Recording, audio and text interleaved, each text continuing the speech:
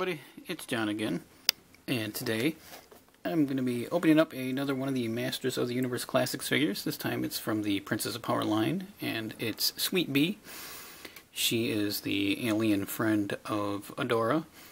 Um, I think it's kind of weird that I get some flack for opening up the uh, She-Ra figures because some collectors think they're girl toys when it's a molded piece of plastic, just like all the other figures are, and it has no gender. So get over yourselves, guys, okay? It's kind of silly. It's just a plastic toy. But anyway, you can see she's in the old school, old school packaging that uh, Matty Collector did. And she's an awfully colorful figure.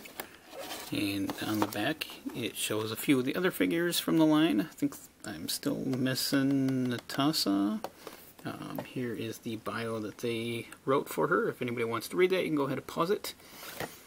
And um, before I take her out of the package, let's see here.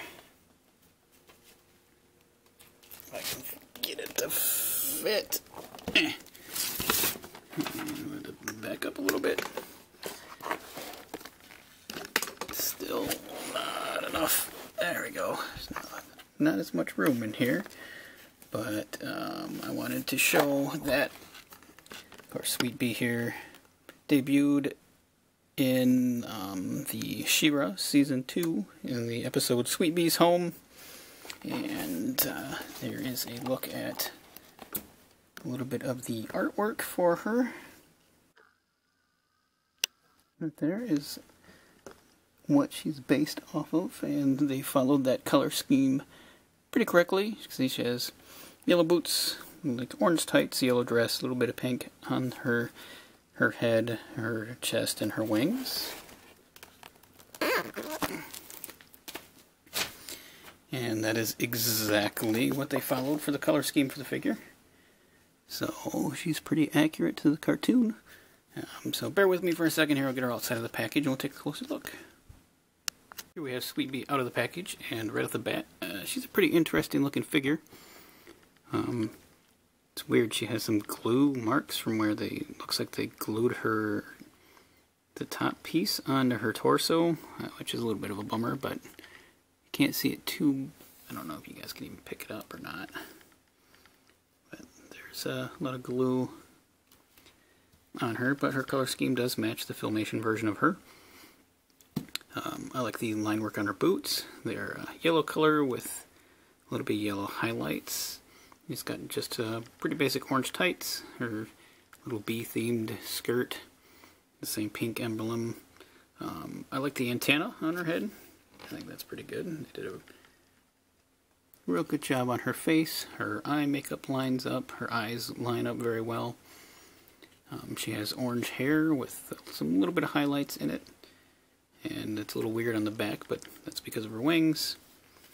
But, you know, overall she's a pretty good looking figure so um, they did a good job with this one. And she has pretty limited head articulation because of her hair. You can move it a little bit but not a whole lot. And she's got the same um, hinged and rotating shoulders as they all have the bicep swivel the one elbow joint rotating wrists she does have waist rotation her legs only can go up to here because of the skirt plastic. She does have a swivel at her thigh as well. A single joint at the knee. She's got hinged and not really rocking ankles. They do a little bit. No boot cut though. That's uh, about all the articulation she has. But overall her paint apps and everything else work really well. She does come with an alternate head or you can just have her hold it. That's her uh, space helmet from when she flies in. I hate removing the heads on these guys because sometimes the pegs are pretty small, so I'm just going to give it a gentle tug, and if it doesn't come off, I'm not going to worry about it. Yeah, it's on there pretty good. I'm not going to I'm not going to force it because I'm going to keep her with this head, and she can probably hold on to her helmet. Now, she does have her wings, which are also articulated with that little spot right there. It's pretty tight though. I'm going to just gently rock it back and forth to loosen it up a little bit.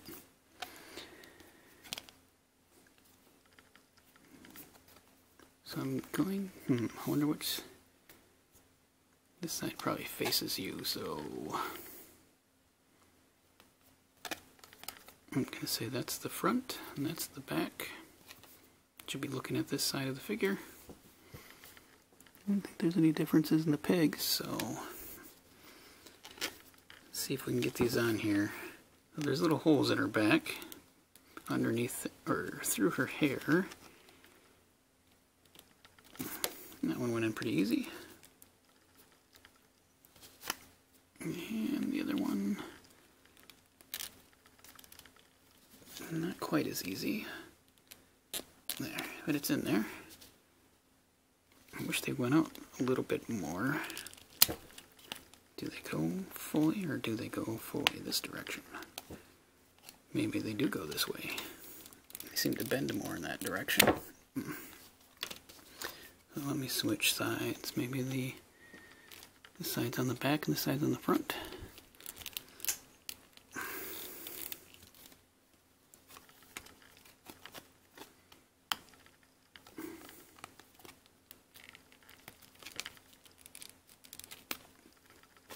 Still don't get a whole, whole lot of movement out of them. But that's about as far as they go. So she's going to be a tough one to get to fit onto the shelf. Just because of the way her wings are. It's nice that they're translucent and the pink does match the other pinks on her. But she does come with, of course, the same thing they all do. They all come with their shield.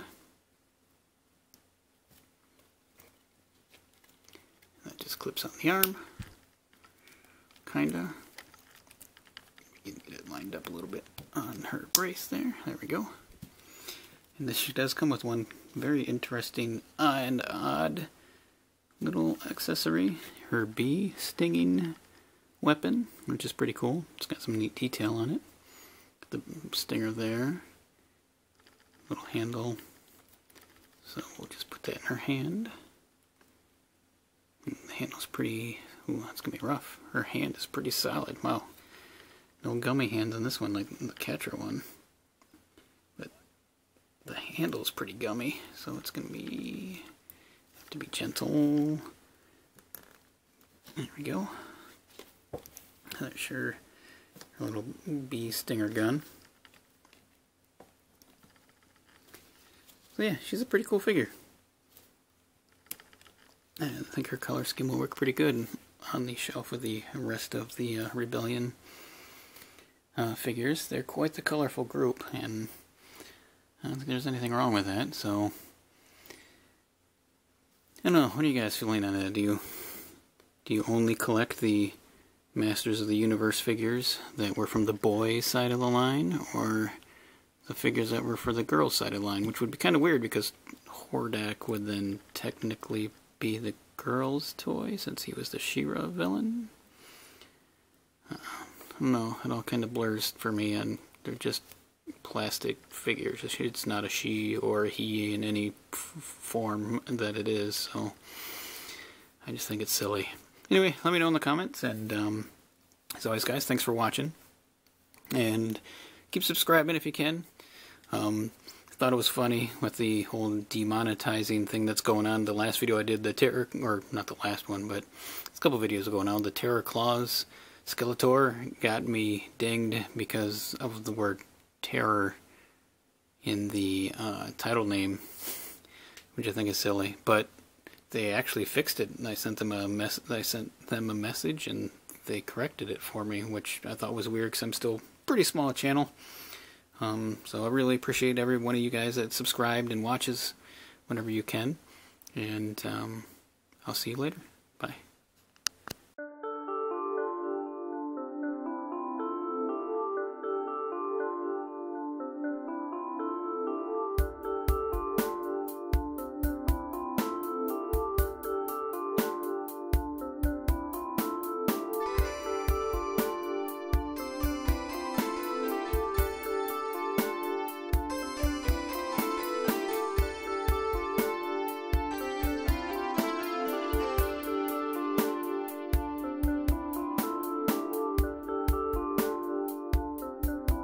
Anyway, I just want to say thank you one more time for checking out this video. And if you're interested in seeing any more, you can click uh, either one of the links that will be over here. And if you'd like to subscribe to my channel, there'll be a button down below. Do that as well. And again, thank you.